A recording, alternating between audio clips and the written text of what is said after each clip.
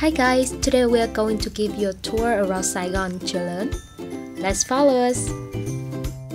Chợ is known as a busy commercial and trading place of Ho Chi Minh City because most of the main roads connecting the north and the south, the east and the west of the city pass through the district.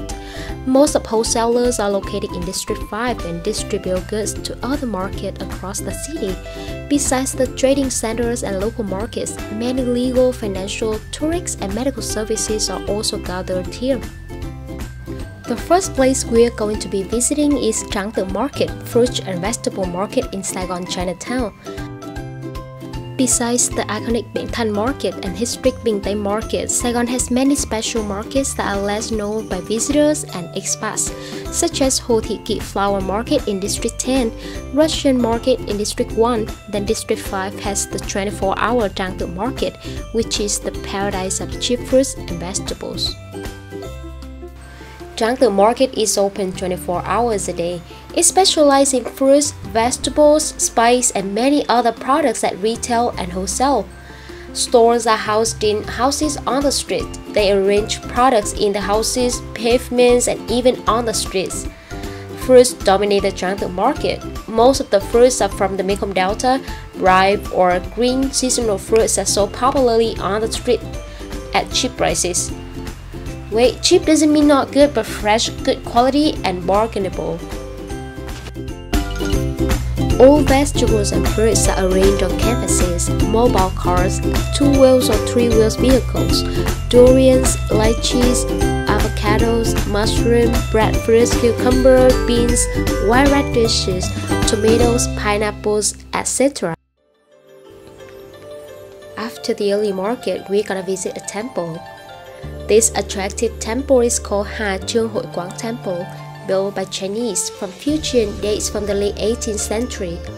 The interior is surrounded by stone pillars in the shape of a dragon and decorated with remarkable polychrome bas reliefs. is surrounded in a haze of smoke from the hanging incense burners.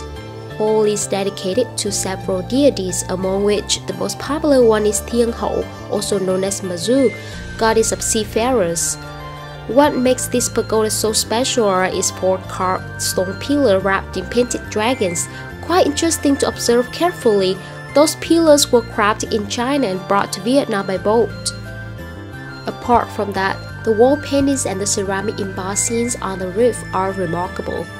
During the French colonial period, this temple was considered as one of the most beautiful in the whole city. To the right side of Thiên Hậu, there's Chúa Nương Nương, a Taoist fertility goddess, and to the left side there's ever popular Taoist god of wealth.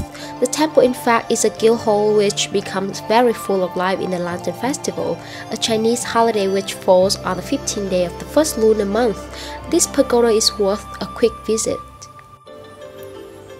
Next stop will be Thiên Hậu Pagoda, the Chinese sea goddess temple.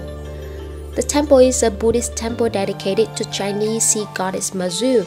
It's believed that she protects and rescues ships and people on the sea by flying around on a mat or cloud. Mazuism is connected with traditions and beliefs from both Taoism and Buddhism. Mazuism is therefore an incorporation of different aspects and traditions which have merged to form a new belief. When you enter through the iron gate, you will see massive stone incense burners in front of the entrance of Mazu's altar. The exterior is beautifully designed with the traditional curvy roof on which small porcelain figures are standing symbol for themes from Chinese religion and legends. The interior has colorful dioramas decorating the roof by representing scenes from the 19th century in a Chinese city. Besides this, the most prominent visible interior design items are the three statues of the Lady of the Sea that dominate the main altar. When visiting, make sure you take your time to look at all the small corners this temple has, as there are many sculptures, statues, and artworks to discover.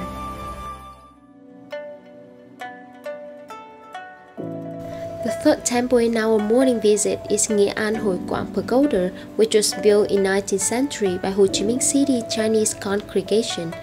The pagoda is dedicated to Quan Công, a deified general who lived during the Han Dynasty. Hidden behind a sinister looking gate, it is noteworthy for its gilded woodwork. A carved wooden bowl hangs over the entrance and to the left is a large representation of Guan Gong's horse and groom. At the ornate altar, great Gong himself to whom the temple is dedicated. Marvel at the door gods painted on the temple's front door. The statue of Ong Bon, the keeper of happiness and virtue, resides in a glass altar to the right of the main sanctuary. Ngan Hội Quán Pagoda is one of the oldest temples in Saigon.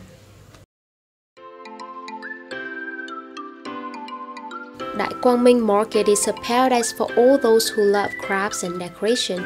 A plethora of shops selling accessories like strings, artificial flowers, and ribbons awaits creative minds who are into embroidery, sewing, jewelry making, or simply need some nice strings for gift wrapping.